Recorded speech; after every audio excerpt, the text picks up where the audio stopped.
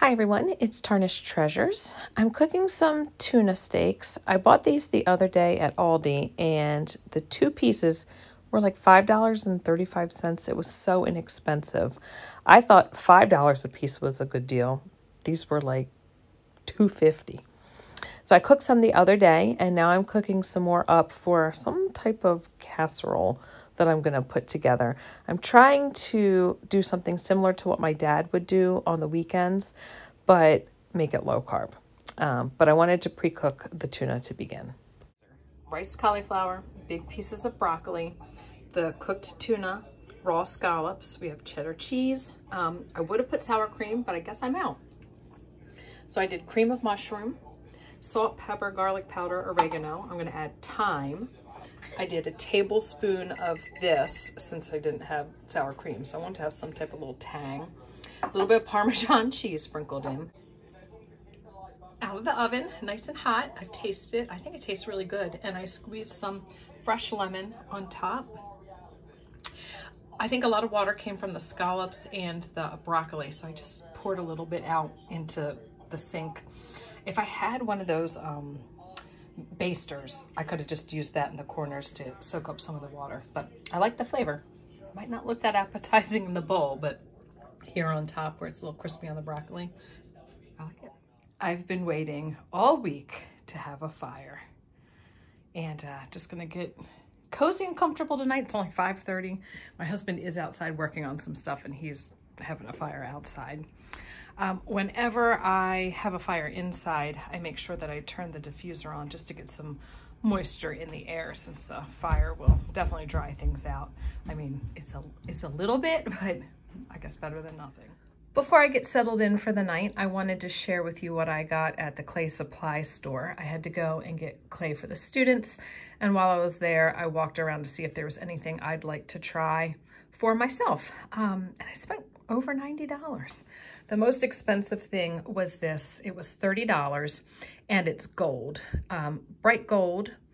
And it's to, I mean, give the effect of gold if you've ever gotten a mug and it has little gold accents. I've been nervous to try it, but the girl said you just fire your things and make sure they're glazed. And then you fire this at a very low temperature and that it doesn't smell so good when you're painting it. But once it's dry, it's fine. So I thought, all right, this will be the year of trying new things. I got the glass engraver, gonna finally add some real gold. I say real gold, I don't know if it's real gold, but it looks like real gold, not like a dark yellow. I did get this one called Golden Halo. I picked this one up first and I don't think it was more than $20. So I thought it was a pretty good deal for this. And um, it gave a nice golden metallic look. So that could be fun, um, especially to cover air, big areas. Like I can cover a lot more with that than I can with that. This one is a Jungle Gems glaze. So you can see the little like specks in there are larger pieces of, I'll say glass, so to speak. And um, you'll get like a base color of the glaze and then little gems in there that burst. And this was a green that also looked like it had like some gold or just the yellow against the green looked golden. So I thought that could be fun. This um, French Dimension, they had black and white, and it was something that you put on before or after firing, and it made it uh, more three-dimensional. So that could be really fun if you were making um, cakes or cookies, like to look realistic, which we actually did in class, but then to add other details to your pieces. I got a silver rub and buff and it was only $3.50. I feel like that's cheaper than what I paid when I got the gold on Amazon. If they had gold, I would have gotten that as well, but they didn't. And I think I'm gonna use this on my um, Quoth the Raven engraving. So I'm probably gonna do that now. I know I said I'd wait, but I think I'll do it. And then I picked up two mason stains. Um, you can mix these into clay, and that's what I did when I shared the, that ribbon candy um, that I made where I basically kneaded it into clay. So I made a colored clay. And uh, this one's a dark red. I didn't have dark red. You can see it's kind of expensive, but that will go a very long way. You can mix it with something and use it as a watercolor underglaze for your pieces or you can mix it into your clay and make colored clay. So I've done both. My friend has done both too. And then this one is called Mazarine Blue. And they had samples there and mixed into the clay. I mean, it was just the most gorgeous blue. Not this at all, like a dark, I'm gonna say Prussian blue, just beautiful. Um, so maybe I'll be making some colored clay soon.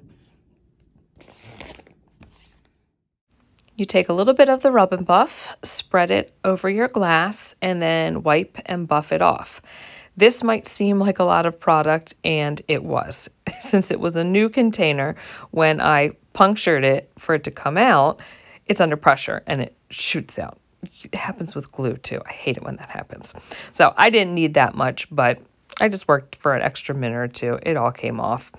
It might not look very different here, and honestly, it was late at night, so I didn't see you know that much of a difference from the engraving to the silver but i think when the sun is out it'll sparkle a little bit for dinner i put a pork roast in the crock pot with some taco seasoning yellow rice for the kids specifically my daughter she really wanted it sauteed some multicolored peppers in some more taco seasoning. And then I've got all the typical toppings for tacos or fajitas. So it's Monday, it's five o'clock. Um, kids and I have like had like an after school snack, so we're all good for a while. And I got a workout in before I even came home, which was nice. So I already had a shower. I just need to blow dry my hair. And um, then do whatever I want for the rest of the night. The kids had the day off, and I think that my mom um, did a thousand things with them. So they're just like, I think, conked out right now, which is awesome. My mom also got me this. I saw it online at a consignment shop, and she picked it up. It's a little Fenton pitcher. I didn't realize it was a pitcher. I thought it was a vase, but I really like that it's a pitcher. And uh, it says Fenton on the bottom. Pitchers are nice because you can use them to water things. It just comes right on out. Um, and it has little hearts. So I collect cranberry glass, so that is such a cool piece. And uh, I picked up those heart earrings to finish this area off, and I decided to give the earrings to my daughter. They were nice. They were sterling silver. They were $4. So she wore them to church yesterday, and uh, yeah, I didn't want to take them apart. So now I still need to find something to finish that. So I'm going to blow dry my hair before it gets too dry and then probably get into collaging and possibly trying to finish this. I, I don't have anything new, but I don't know. Maybe, maybe something will come to me. Maybe I'll take something apart or combine something different. Piece like this could be really perfect for creating like an, an edge of the tree that points out. So I will save that. And I have the missing rhinestone for it. I finished my Christmas tree. And this one has a slight baby theme to it. I've got this pin that says Bebe. I've got a little baby booty here and at the bottom a teddy bear. So that's drying and then I'll have to give it a little um, brush with the lint roller. This is velvet and this frame is old so it's just picking up everything. And now that that's finished, I think I'm going to pull some things out for Valentine's Day. I just have a few decorations to put here and there, but my mom did get me this and it is perfect for Valentine's Day. Just put a few things in here for Valentine's Day. I used to save my wedding decorations for June and a sweet and simple home here on YouTube, she would put them out for Valentine's Day and I really liked that idea. So I switched it up. So at the top, I just have this photo in this acrylic holder that I got at a flea market for a dollar. And then down here, the vase my mom got me with just some old ephemeron photos. This is a vintage scrap and it, somebody wrote Walter on it. And over here, my friend gave me this. It is a wedding invitation from 1886 and it's a trifold this part has come unattached. And on both sides, it has the silk with a little envelope and in it has the name of the bride and groom. So uh, my guess is that when you went to the wedding, you would, I guess, hand the usher the card from the side of the family you were with to be seated. That's why, what I'm thinking. I don't know. And then I just put a little topper in front to kind of hide where that was broken. This wedding assemblage sculpture, uh, little bride and groom figurine, and they were part of a larger piece. So I actually took them off and added them to salt and pepper shakers that I filled with pearls and glass beads. We've got a little dog ring bearer and another part of a cake topper behind that. Little pearl uh, pin that says wife. This is actually a little ring holder. And then this piece here, it was like a jabot that I got at an antique store for $2 and it just works perfectly as this really long train. Some more cute figurines. And that's the nail polish that I wore for my wedding. And I don't know, it's kind of thick now, but I didn't want to get rid of it. So I keep it displayed at Valentine's Day. Then some little souvenirs for my grandparents' wedding that were mirrors. My mom gave those to me. So I've got other things too, but you know, I don't always have to put everything out. But when I store it, you know, I, I, have it all together so I know where to find it when I want it. So I've got some things for the kids' rooms. I'll go up and do that later. I actually have to put their Christmas trees away first in their rooms. It's nice to have a touch of color in those cabinets as well since Christmas has been down for a while. I kind of have it framed right in the middle. I know it's hard with the reflection. Right on display in the middle of that panel there, that nice pink vase. So these three trees have to be put away. Um, I mean, I guess it's still January and Christmas wasn't quite a month ago. I actually think they look very wintry.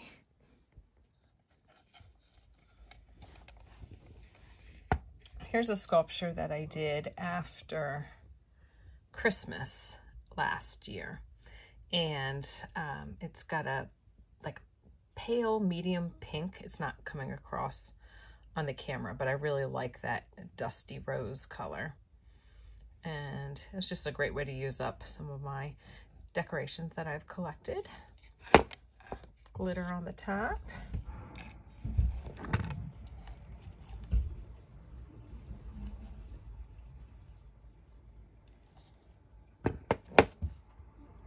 I really like that side too. And that's like a little toy that my daughter had, a little piece of jewelry. And um, this was from Trisha's estate. It was one of the first things I actually bought at a yard sale from her. Thanks for watching everyone, and I will see you in another video. Bye.